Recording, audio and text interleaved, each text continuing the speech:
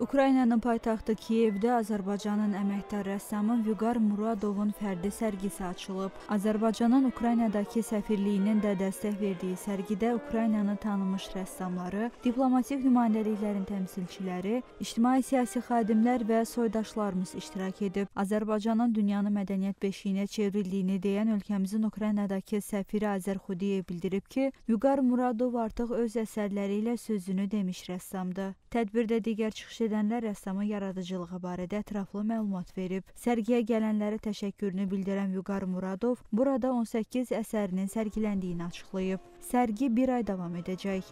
Xanım Nağıyeva, Emil Hüseynli, Hümmət Məmmədov, Azərtaç Kiyev.